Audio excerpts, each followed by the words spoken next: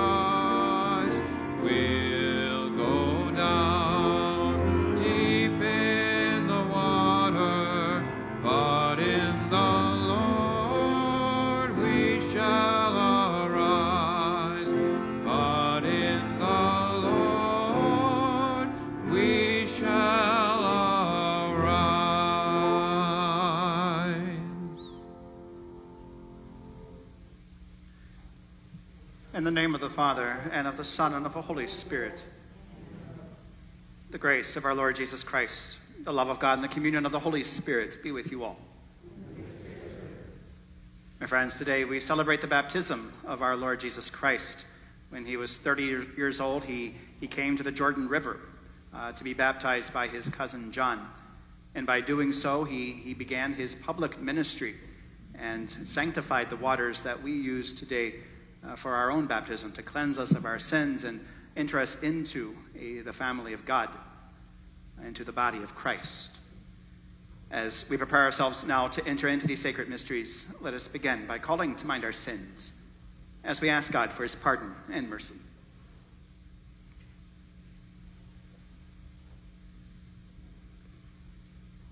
I confess to Almighty God and to you, my brothers and sisters, that I have greatly sinned in my thoughts and in my words, in what I have done, in what I have failed to do, through my fault, through my fault, through my most grievous fault.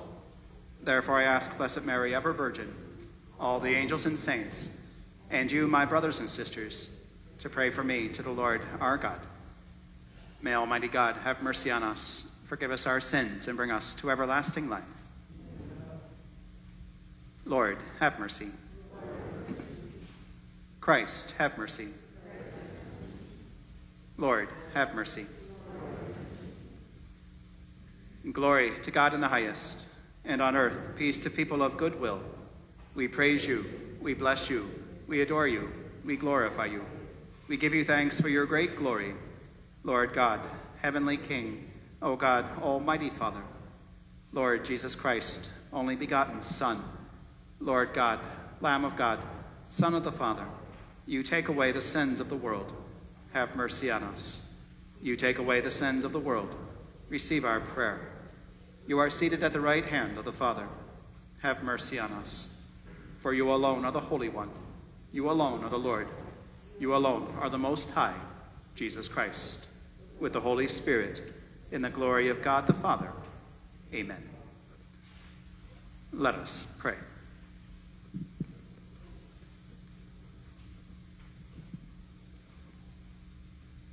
Almighty, ever living God, who, when Christ had been baptized in the river Jordan, and as the Holy Spirit descended upon him, solemnly declared him your beloved Son, grant that your children, by adoption, reborn of water and the Holy Spirit, may always be well pleasing to you.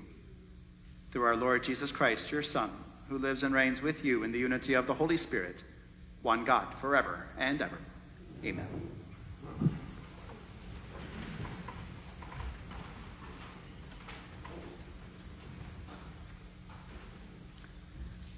A reading from the book of the prophet Isaiah. Thus says the Lord All you who are thirsty, come to the water. You who have no money, come, receive grain and eat. Come without paying and without cost. Drink wine and milk. Why spend your money for what is not bread? Your wages for what fails to satisfy. Heed me, and you shall eat well. You shall delight in rich fare.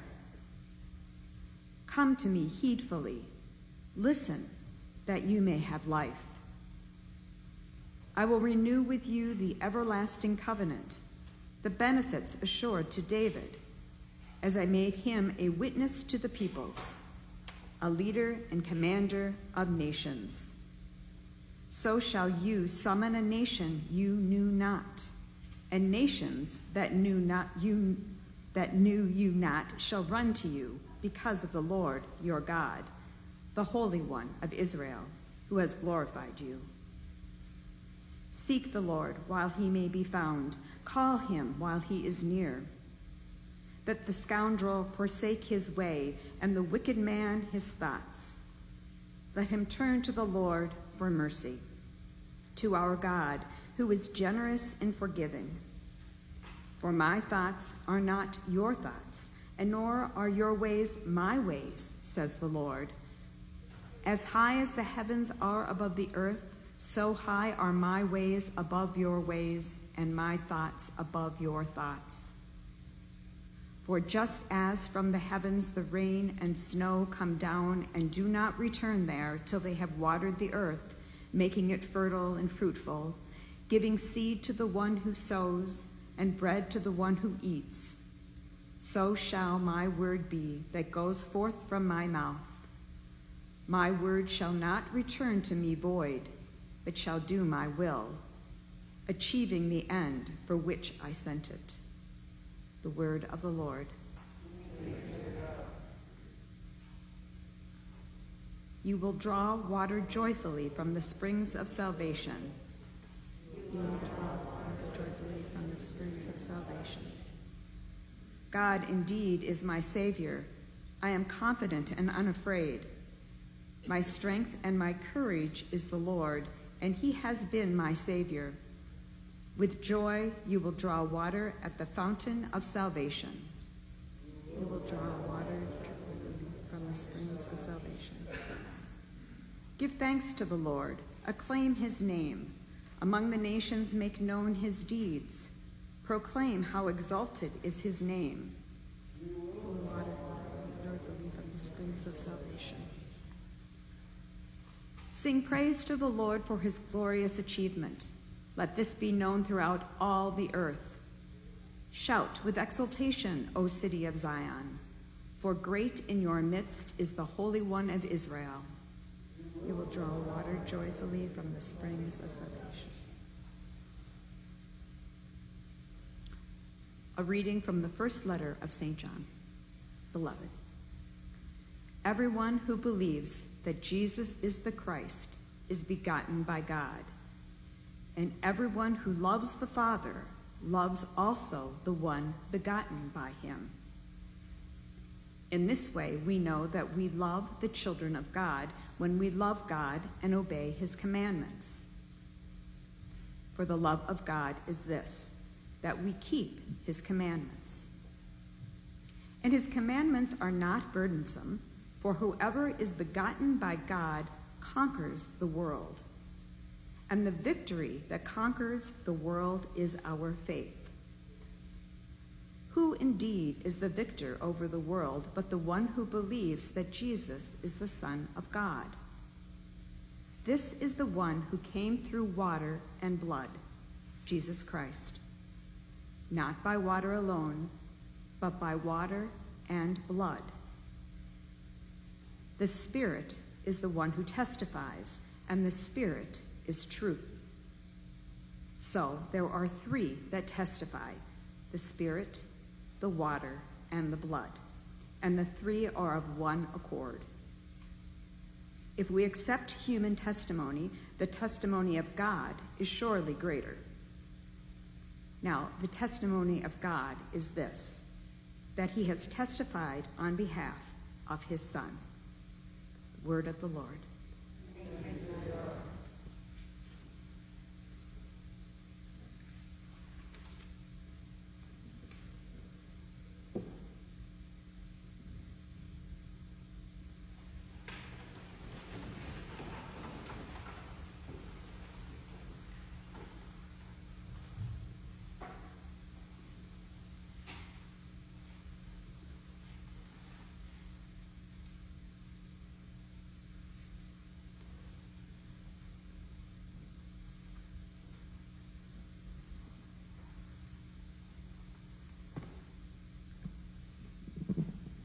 Alleluia, Alleluia.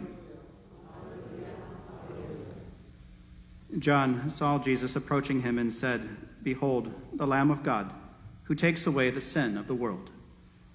Alleluia, Alleluia. The Lord be with you. A reading from the Holy Gospel according to Mark.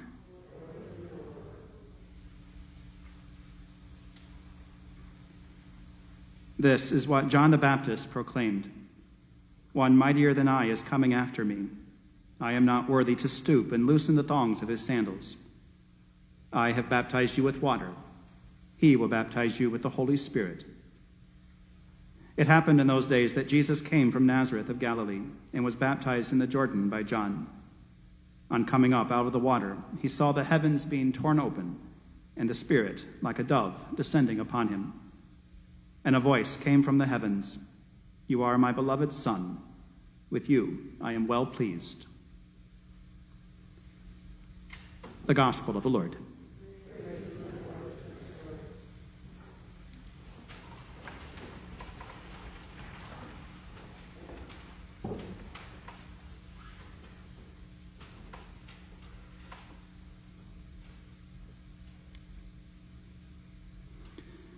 If you've been paying attention these past few months online, uh, then you know that here at St. Anne's we've been doing a series of videos explaining the lives of the saints found in our stained glass windows here. And it's, it's been a, a fun project uh, for me to do, uh, learning how to uh, edit videos, certainly very enlightening as I've learned some amazing stories about the saints, uh, particularly those that I don't know as well as others. Uh, just this past week, in fact, we posted our, our latest video on uh, one of my favorite saints, uh, St. Augustine. Uh, he's been one of my favorite for years. And, and very often, you know, probably two, three times a year, I, I tend to revisit his story, which is one of the great conversion stories of Christian history. And, you know, the reason we, we know so much about his story is because Augustine himself described to us uh, in his very own words his experience with God how God touched his heart. And he, he spoke these words and wrote these words down in his own autobiography known as the Confessions. His story is, is one of turning completely from unbelief to belief, from a very guarded heart to a heart that is open to grace. And it was after his conversion in, in the, the three to four decades after, before he died, as he looked back and reflected on, the, on his struggle with faith, he admitted that what held him back most uh, was a stubbornness of heart that was born out of fear. And he said this, he wrote this. He said, I held my heart back from accepting anything since I was afraid of another fall. And in this condition of suspense, I was being all the more killed, for I wished to be assured of the things that I saw not just as I was certain that seven and three are ten. Now, you, you hear these words of a man reflecting back on his former life, and uh, you, you, you imagine a man who was once tortured and trapped by sin in his life. His life was filled with promiscuity, drunkenness, anger, selfishness, you know, all the things that you'd least expect when you think of a saint. But still, inside the very heart of Augustine was a very deep desire to find something real, something to hold on to, something more than just the passing nature of worldly things. He wanted to know this God that others seemed to know so well, and he wanted to know him very deeply. He wanted to understand God. He wanted to be able to run to God rather than simply running away from everything else. And, and God was working in his life to bring him to a point of conversion. He had the benefit of so many good Christian witnesses in his life, his mother Monica being first and foremost, a devout Christian who was a supreme model of the faith, prayed relentlessly for him for decades. He had friends who encouraged him through their words and example. But, but even so, even with the greatest of helps in his life, as, Gus, as Augustine admits, something within him always resisted. Something always held him back. And he admitted this much as, as he spoke those words I held my heart back from positively accepting anything. And, and we have to ask why would he do that when it's something that he desires so much? Know, why would any of us do that? And yet, he did. And yet, we do. For ourselves, you know, I might suggest it's because faith doesn't always give us tangible proof and certainty of the things that we're meant to believe in. Or perhaps it's that we're simply not committed as much as we could be to following through on what the life of faith might ask of us. Or perhaps uh, we admit to ourselves that it's because we just love our sin far too much. But for Augustine, and maybe even for ourselves, he says it was because he was afraid of another fall. He was afraid that if he should take that leap of faith and believe in God, devote his life to Jesus Christ, and turning, turn from his sinful ways, that he was eventually going to fall back into those former sins. He was afraid that it would not be a lasting change, that he would disappoint God and all those people who had prayed for him along the way. He didn't want to take the risk of faith in God because he knew that would be his last resort if there was any chance of failure. That would have meant admitting that there was nothing in this world that could help him. And I think that's brought into his heart a lot of fear. But at the same time, Augustine knew that he couldn't remain in the state that he was. He knew that it was killing his spirit to not have a real connection with something higher, a real connection with God. So he felt himself slowly dying within, especially as he saw so many other people around him who found some way to experience that joy of faith as he struggled to do so much himself. And Augustine had, gotten so desperate in his search for God that he actually cried out to God at one point for death. Simply end the misery. But God, of course, had another plan to help him to persevere and to fight and to gain victory over his struggle. You see, God was preparing his heart for a single moment when he would enter in and touch him profoundly with the gift of faith. A moment when he overheard the voices of what sounded like children nearby playing, encouraging him to pick up and read, and so he did from a Bible that he had laying nearby. And as he read a passage from St. Paul's letter to the Romans, his life was changed. He saw that as a very prophetic word spoken by God to him to leave behind the life that he was living and to begin living a life of Christian virtue. And it was in this moment, a profound moment of grace, the walls broke down. Augustine knew that God himself had reached, reached out to him. And so began a very speedy journey to God. Uh, you might ask, you know, why do I bring up Augustine's story today on this feast of the baptism of our Lord and Savior Jesus Christ? Because today is, is about more than just the, the simple, though remarkable act of baptizing our Lord. It's about the public manifestation of, of the Messiah to a people who had a very deep longing in their hearts for something real, something more than what they were living at the time. Today is about Jesus manifesting himself to the world as our Savior and giving us an example so that we can begin to follow his, in his way, simply by being baptized, starting off our life being cleansed of sin in the waters that he sanctified through his own baptism. And, and as we hear the story uh, of his baptism, we're told that a crowd had gathered at the river. They didn't come to see Jesus, in fact. Uh, they came to see John, so John could baptize them. They were searching. And in the ritual of this particular baptism of John, uh, they found consolation. But it's important to note that this was uh, just a symbolic baptism that John was doing, an outward gesture representing their deep longing for a new life. Jesus hadn't yet blessed the waters to bring about true change in their hearts. But, but there's still merit here because with this longing, they had come to hope in a Savior. And it began to, to spur them on to continue searching. You know, they, some of them had thought maybe, well, maybe John could be the Messiah. But he wasn't exactly what they expected the Messiah to be. Though he did gain a huge following, he was moving people to change their lives by dedicating themselves to God. You know, John was, in their estimation, the closest thing to what they were expecting. But, but of course, John dampened those hopes by saying that he wasn't the Messiah there was someone greater than him. So, so they still had this, this unfulfilled desire in their hearts. And what were they supposed to do with that? They were in the same position that Augustine was, the same position that, that we are in when we long for a greater, deeper experience of our Lord. And so, what do we do? We, we come to church, we go to prayer. Maybe we read some books, some devotionals where we hope that God's going to reveal himself in some grand, miraculous way that really speaks to our heart, solves our problems. But, but like Augustine, and like the crowds, sometimes that longing gets very frustrated. And it's not God who does the frustrating, it's more than likely us. You know, God, it's not that God doesn't reach out to us, it's that we resist. We put up the barriers. When life becomes difficult, we find it hard to trust completely in a God that wants our good. And at times, even we will take things into our own hands and do things that actually work against our deepest desires. We'll go out and we'll sabotage and destroy our relationships.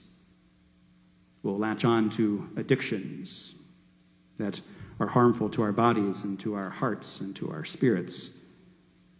We might spend way too much time on our technology and not enough in prayer. We kill our children in the womb. As we've seen this past this summer and this past week, we, we go out and we riot in the streets and at the Capitol. But, but how does any of this get us closer to the peace that we're searching for? Now, how does any of this get us closer to the God who wants to pour that peace into our hearts? The fact of the matter, it doesn't. And, and yet, we believe in a God who is actively preparing our hearts to embrace him when he reveals himself more fully. We trust that our God today is the same God that made himself known to Augustine 1600 years ago at just the right moment. And he will do the same for us. He will reveal himself to us in his fullness at the perfect time when we're most receptive to him. And perhaps that moment is when we're at our lowest. Know, today, it was when the people's hopes had been found, that they had found the Messiah, that they had been dashed. That's when Jesus came to them at the Jordan River, and he was immersed in the waters. And when he come up out of the water, the Holy Spirit came down, and, and they heard the Father's voice say, This is my beloved Son. You know, all that longing that they had had for so long now was satisfied in the most beautiful way. You know, it took years for God to prepare Augustine's heart for that one powerful moment of conversion. We look to the scriptures and we see it took generations to prepare the hearts of God's people to receive their Savior and to recognize Him as He came out of the waters. And for us, it may take longer than we want uh, for God to act. But, but God is going to enter in and at just the right moments when we're most likely to receive Him. That's the hope that we have in Him. That, and that can keep us going so long as we keep on searching for Him. You know, we, we have to ask ourselves, I think, especially in these times, what is the deepest desire that I have in my heart? What is it that I most truly need in my life? You know, is it peace? Is it to increase in patience or courage, strength? To be understood? To have a greater faith? Greater discipline in living out the faith? You know, whatever it may be that makes your heart feel like it's going to burst because the need just keeps going unfulfilled, we bring it to Christ and we lay it at his feet and we trust that he's going to manifest himself in our life in a way far greater than we can imagine. Maybe not in a visible way like he did at the waters of the Jordan River, but in a very real way nonetheless, in the very depths of our soul. And we lay that down before him, allowing that desire to bring us to the throne to lead us closer to God. You know, don't let your mind get in the way when you do this. Don't let your, your emotions take over. Don't give up the fight. But allow your soul to be moved by the very Spirit of God, responding to his call to you. And then let his grace wash over you like the waters of baptism to cleanse you and refresh you. And yes, it may take time. And sometimes we will get impatient with God, you know, just like Augustine and the crowds did. Uh, we cannot be our own worst enemy with that, with the thoughts and the fears that keep playing over and over in our minds and the questions that say, How long, O Lord? When will you act? You know, I think Augustine you know, was very well aware of that, and you know, he, he encourages us, even centuries later, to never forget the promise of God. You know, that he wants to draw us to himself. And so, as his words echo throughout uh, the generations, so they should echo in our hearts too, as we lift up our minds and our voices to God, as he wrote, You never depart from us, Lord. Yet we have difficulty returning to you. Come, Lord, stir us up, call us back, kindle our hearts and draw us, be our fire and be our sweetness. Let us love you, let us run to you. Today, can we trust Jesus and the work that he is doing within us?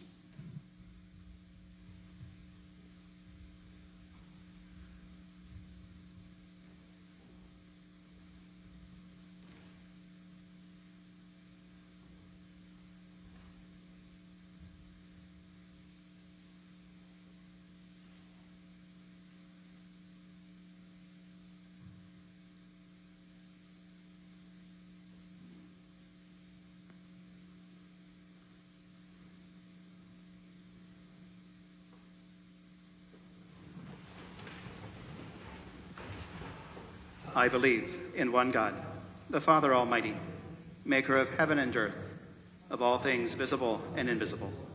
I believe in one Lord, Jesus Christ, the only begotten Son of God, born of the Father before all ages, God from God, light from light, true God from true God, begotten, not made, consubstantial with the Father. Through him all things were made. For us men and for our salvation, he came down from heaven and by the Holy Spirit was incarnate of the Virgin Mary and became man. For our sake he was crucified under Pontius Pilate. He suffered death and was buried, and rose again on the third day in accordance with the Scriptures. He ascended into heaven and is seated at the right hand of the Father. He will come again in glory to judge the living and the dead, and his kingdom will have no end. I believe in the Holy Spirit, the Lord, the giver of life, who proceeds from the Father and the Son who with the Father and the Son is adored and glorified, who has spoken through the prophets. I believe in one holy, Catholic, and Apostolic Church. I confess one baptism for the forgiveness of sins, and I look forward to the resurrection of the dead and the life of the world to come. Amen. My friends, as we come before our Father in heaven, we do so confident that He hears and answers all of our deepest needs and desires.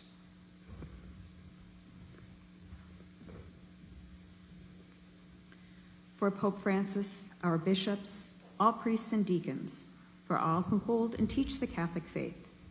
May they always point the faithful to the true Lamb of God, Jesus Christ, who takes away the sin of the world. We pray to the Lord.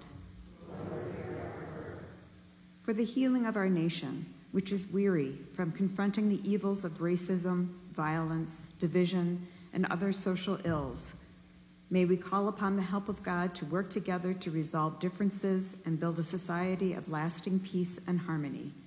We pray to the Lord.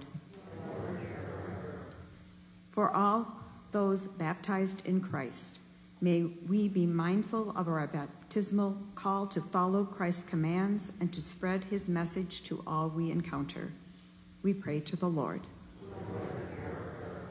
For ourselves, that we may be vigil- remain vigilant in our efforts to grow in our Catholic faith through prayer, study, participation in the Mass, the pursuit of the life of Christian virtue. We pray to the Lord. For those who are lost, confused, or searching, may they not be afraid to come to the fount of grace which is found in the Church of Jesus Christ. We pray to the Lord for the souls of all the faithful departed, especially Howard Schweiss. May they know the mercy of Christ and rise with him to new and eternal life. We pray to the Lord. Almighty, eternal Father, you are the giver of all good gifts. Hear the prayers that we bring to you this day and those that remain in the silence of our hearts, and answer them all in accord with your most holy will. We ask this through Christ our Lord. Amen.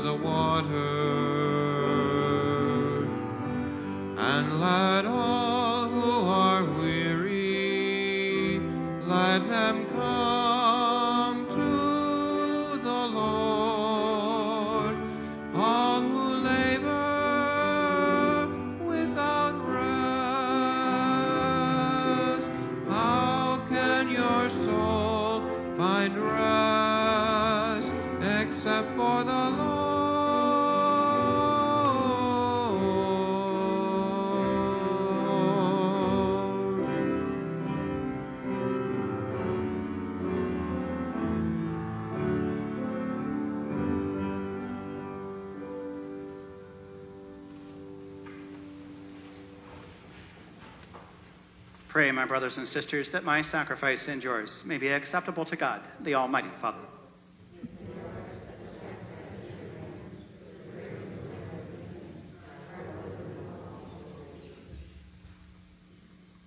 Accept, O Lord, the offerings we have brought to honor the revealing of your beloved Son, so that the oblation of your faithful may be transformed into the sacrifice of him who willed in his compassion to wash away the sins of the world, who lives and reigns forever and ever.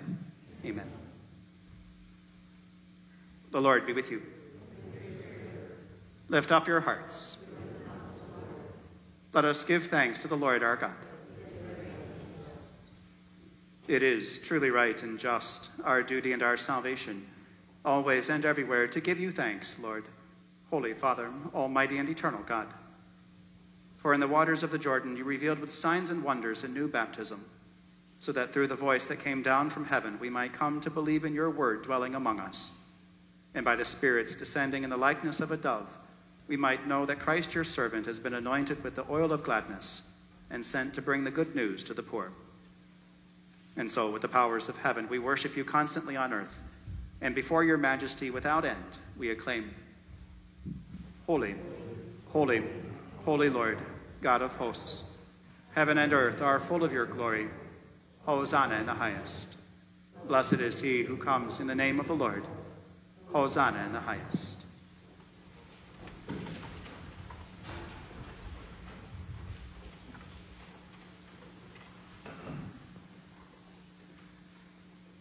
You are indeed holy, O Lord, and all you have created rightly gives you praise.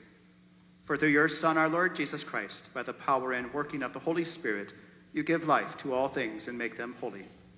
And you never cease to gather a people to yourself, so that from the rising of the sun to its setting, a pure sacrifice may be offered to your name.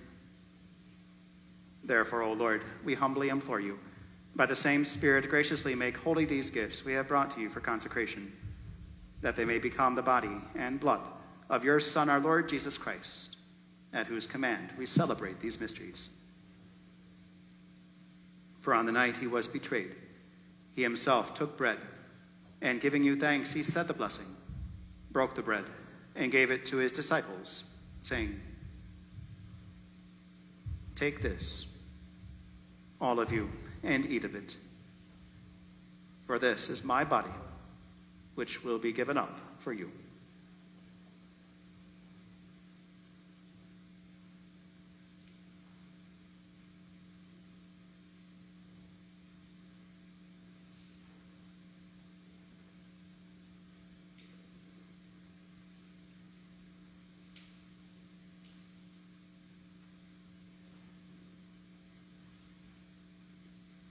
In a similar way, when supper was ended, he took the chalice, and giving you thanks, he said the blessing, and gave the chalice to his disciples, saying, Take this, all of you, and drink from it.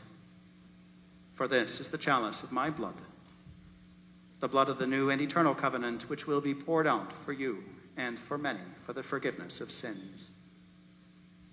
Do this in memory of me.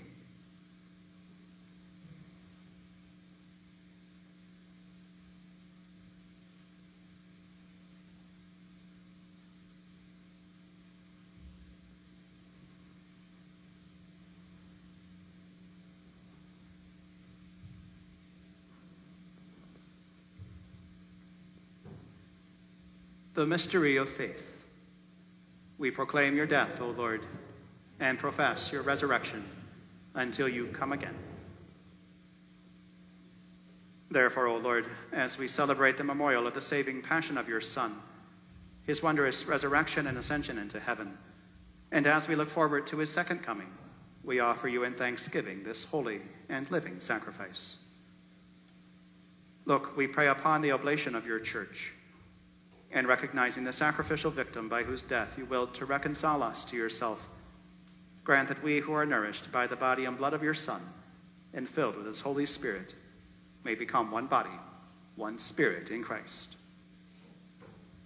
May he make of us an eternal offering to you, so that we may obtain an inheritance with your elect, especially with the most blessed Virgin Mary, Mother of God, with blessed Joseph, her spouse, with your blessed apostles and glorious martyrs with St. Anne, and with all the saints, on whose constant intercession in your presence we rely for unfailing help. May this sacrifice of our reconciliation, we pray, O Lord, advance the peace and salvation of all the world. Be pleased to confirm in faith and charity your pilgrim church on earth, with your servant Francis, our Pope, and Bernard, our Bishop, his assistant Andrew, the order of bishops, all the clergy, and the entire people you have gained for your own.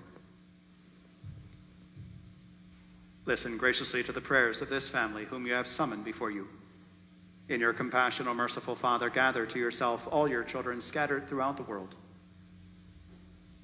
To our departed brothers and sisters, and to all who were pleasing to you at their passing from this life, give kind admittance to your kingdom. There we hope to enjoy forever the fullness of your glory through Christ our Lord, through whom you bestow on the world all that is good.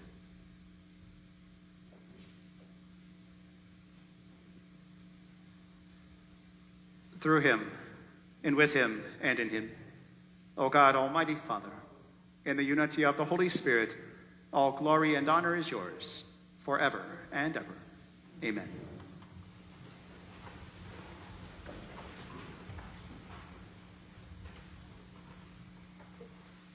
And now, at the Savior's command, informed by divine teaching, we dare to say, Our Father, who art in heaven, hallowed be thy name. Thy kingdom come, thy will be done, on earth as it is in heaven. Give us this day our daily bread, and forgive us our trespasses, as we forgive those who trespass against us. And lead us not into temptation, but deliver us from evil. Deliver us, Lord, we pray, from every evil. Graciously grant peace in our days, that by the help of your mercy we may be always free from sin and safe from all distress, as we await the blessed hope and the coming of our Savior, Jesus Christ.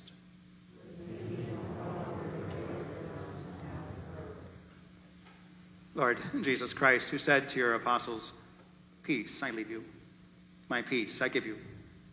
Look not on our sins, but on the faith of your church, and graciously grant her peace and unity in accordance with your will, who live and reign forever and ever. Amen. The peace of the Lord be with you always.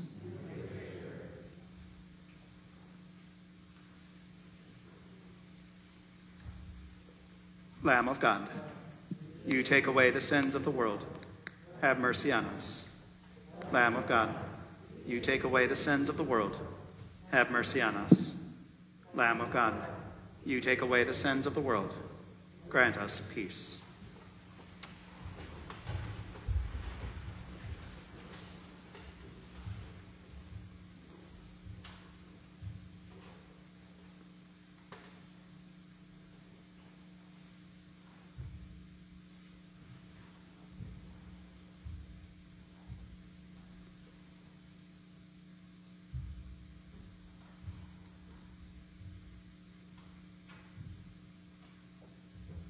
Behold, the Lamb of God.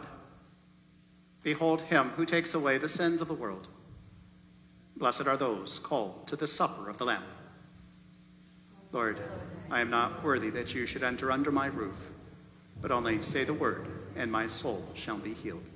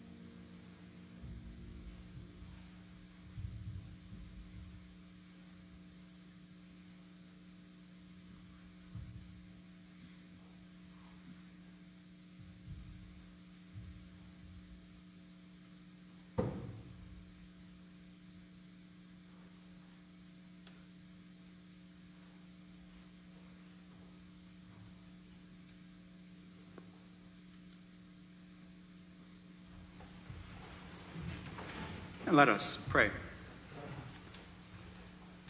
Nourished with these sacred gifts, we humbly entreat your mercy, O Lord, that faithfully listening to your only begotten Son, we may be your children in name and in truth. Through Christ our Lord. Amen. As I spoke today on St. Augustine, he's, like I mentioned, one of my favorite saints. Uh, there's a, a movie about his life uh, called Restless Heart. Uh, and it's one of many movies which is included on our Formed uh, website, uh, formed.org, uh, a platform that uh, our parish has subscribed to that uh, has movies like St. Augustine's life story, as well as the lives of many other saints, and a lot of other catechetical materials that we can use to really deepen in our Catholic faith. Over 4,000 individual offerings from catechesis to Bible studies, movies about the saints, and cartoons for the kids, ebooks, and uh, audio talks are also available. Uh, free for everyone to use in our parish. All you have to do is sign up. Uh, you can learn how to do so if you haven't already by checking out the bulletin this weekend. Uh, if you have any trouble signing up or need some guidance how best to utilize the site or even where to start, uh, give us a call at the parish office. But certainly, I, I do suggest that, that movie of St. Augustine. Again, it's called Restless Heart. Wonderful uh, Italian movie, but very well dubbed in English. So uh, it's very entertaining and very powerful story as well. My friends, as we conclude today, then let us offer our prayer to the Blessed Virgin. Uh, let us ask her intercession for our needs and the needs of our loved ones this day as we pray. Hail Mary, full of grace, the Lord is with thee. Blessed art thou among women, and blessed is the fruit of thy womb, Jesus. Holy Mary, Mother of God, pray for us sinners, now and at the hour of our death. Amen. The Lord be with you. May Almighty God bless you, the Father, and the Son, and the Holy Spirit. Go forth. The Mass is ended.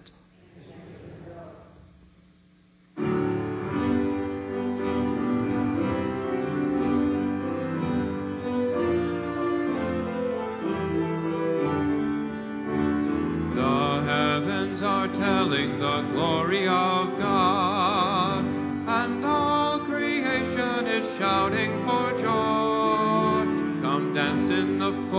come play in the fields, and sing, sing to the glory of the Lord.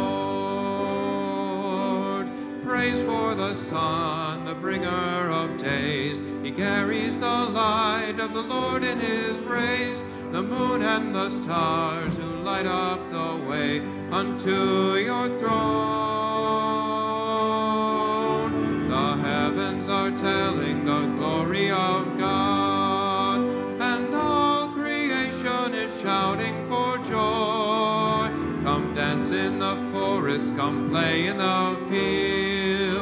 and sing, sing to the glory of the Lord.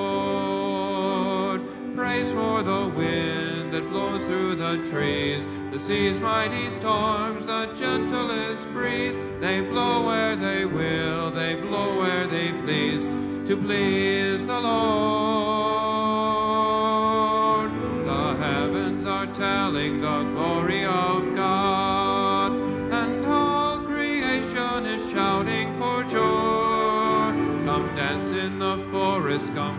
The fields, and sing, sing to the